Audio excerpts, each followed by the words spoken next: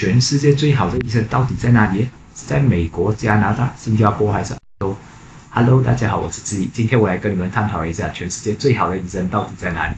那么其实世界上最好的医生不是在什么国家，其实就在我们身体里面，就是我们最好的免疫系统。那大家有没有想过，其实我们喝进去的水啊，我们吃的食物，我们碰的东西，甚至是我们呼吸进去的空气，其实都存在有很多的污染物质啊，也是这些微生物。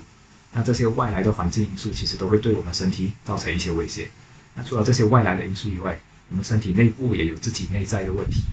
那有没有想过，其实我们身体会不断的更新嘛？那就是我们的细胞会衰老会死亡。我们细胞死亡之后就会产生这些新的细胞。因为我们身体不断的产生这些再生能力，产生新细胞的时候，难免会产生一些错误。那这些错误就会造成我们产生了一些不健康或者没有办法正常运作的细胞。那如果这些细胞，发生了一些基因突变的话，很有可能会变成我们所谓的癌细胞。如果癌细胞没有办法及时被我们身体的免疫系统解决掉或者消灭掉的话，它就会日积月累，就会变成我们时常听到的癌症肿瘤 （cancer）。那面对这些种种的外在还有内在因素，我们其实很多人都也可以活到健健康康活到现在，那就是因为我们与生俱来就有这个世界上最好的医生在我们身体里面，也就是免疫系统。那我们先来看一下这个很复杂的免疫系统。其实有什么器官、什么组织，还有什么细胞一起组成的？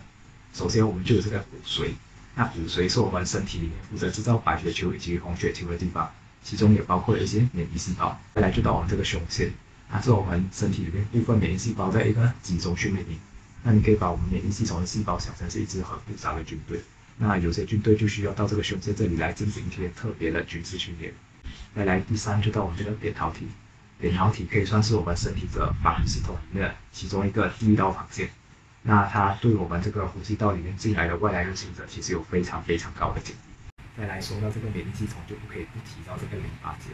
淋巴结是我们免疫系统军队里面的守卫军。怎么说呢？它其实可以过滤以及控制我们的外来入侵者，让它可以更好的被抵抗以及被清除。还有这个脾脏。脾脏就像是我们工厂里面的，我们身体里面军队的弹药工厂，它是负责制造我们这个抗体，然后让这些抗体可以更好的识别这些病原体，让我们免疫系统可以对它进行破坏。那免疫系统里面的免疫细胞啊，就像是一个有着抵抗能力的军队一样，驻守着我们的身体，防止我们很容易的生病。我们的免疫系统非常的复杂，在我们身体里面有一个遍布我们全身的通讯网络。也就是说，当它侦测到一些外来入侵者或者病原体的时候，会发送讯息，让更多的免疫细胞可以到场作战。那我们来看一下我们的免疫细胞有哪一些。首先，就我们这个 B 细胞，B 细胞是负责制造我们的抗体，也就是我们的军事里面的弹药，来帮助给我们破坏这些病原体。同时，我们也有这个 T 细胞啦，B 细胞和 T 细胞是一起互相作战来保护我们这个人体。再来就有到这个巨噬细胞，巨噬细胞它可以吞噬以及清除我们的微生物以及外来物质，或者我们细胞之前有提到，如果细胞衰老或者死亡的话，也是由这个巨噬细胞进行这个清除功能，把它吞进去而消灭它。再来还有我们的自然杀手细胞，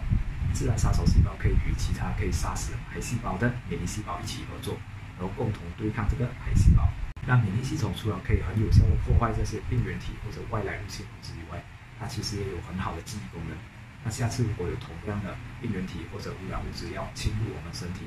它其实就有这个记忆功能，知道很好的知道要如何反应，如何来对抗这些外来的入侵者。我们不难发现，如果一个人的免疫系统健康的话，他遇到一些病毒或者外来的入侵者的话，他其实不一定会生病。但是如果免疫系统非常的虚弱的话，即使是普通的感染，也可能让他致命。那如果我们免疫系统虚弱的话，就没有办法与这些外来入侵者战争。那比如说癌细胞，如果我们的免疫系统虚弱的话，没有办法战胜这些癌细胞，癌细胞就会不断的扩散，就形成癌症肿瘤。但免疫系统也有可能会发生故障，造成一些自体免疫性的疾病，其中就包括我们的红斑性狼疮、类风湿关节炎、一型糖尿病以及我们牛皮癣。那么要怎么很好的滋养我们的免疫系统呢？那我们首先就要有一个非常好的健康的生活作息，其中就包括我们需要有适当的运动、充足的睡眠，我们还需要摄取正确的饮食，还有我们需要保持一个健康的心情。摄取正确的营养以及健康的免疫系统之间的关联，也就是我们所谓的营养免疫学研究的核心。那听到这里，相信大家都已经知道为什么免疫系统是世界上最好的医生。希望你们受益。那我在下一集的时候跟你们分享我们免疫系统需要什么样的营养，才可以达到更好的植物免疫系统。谢谢大家